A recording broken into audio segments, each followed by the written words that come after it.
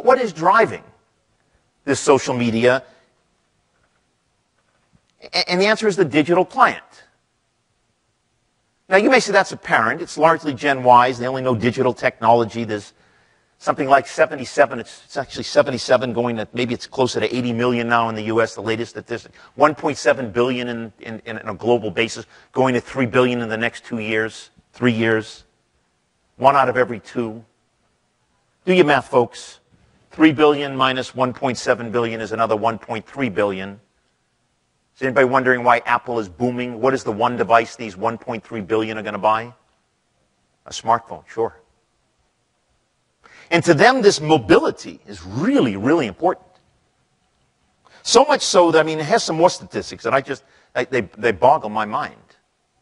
The growth in mobility is about 10% a year in the middle. But the growth in apps, mobile apps, is, is just, it's just astronomical. So if you're playing in the social space as a way of the future of customer relationship management and how to prepare for success, and you're working with social, you know, complementing traditional CRM, and you're not mobile enabled, you've made a big mistake. So mobility becomes a critical success factor in the future of customer relationship management and how you prepare for that success. And whether you're selling or marketing or servicing, if you're not playing in that mobile game, you're not going to win at the end of the day. I have here a couple of examples. They remind me to tell you stories. Kraft Foods, when we devised the CRM strategy and now the social media strategy with their, their very wonderful executive team, we made a point that all reps would be using tablets as a way of assisting in the mobility of adoption for their CRM system, which seamlessly integrates sales and marketing. It's a very interesting story. I put down Zumba because that's just a tremendously fast growing, extremely fun company that we have the pleasure of working with out of Hallandale, Florida. And I'm sure many of the ladies in this audience, it's 90% women, 10% men in Zumba, know how exciting it can be. There's 14 million of you around the world, and they've understood that if they're not on the apps of those 14 million, there's not a chance in heck they're going to be around. The third thought I want and final thought I want to share with you is this concept of gamification.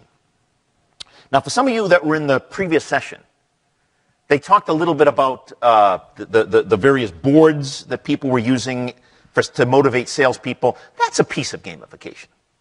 But, but here's where gamification is really beginning to take off. All the social communities use gamification, polls, ratings, fun games, different things, to drive traffic and keep people excited.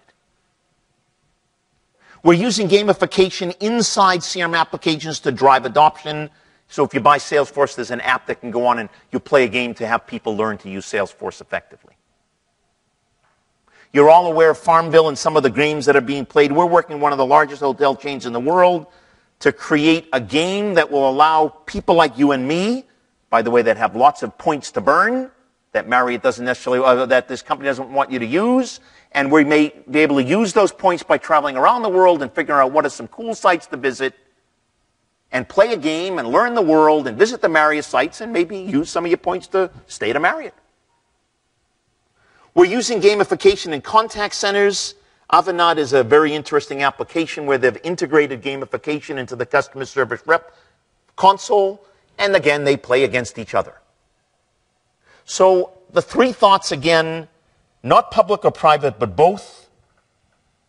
I think that's very important.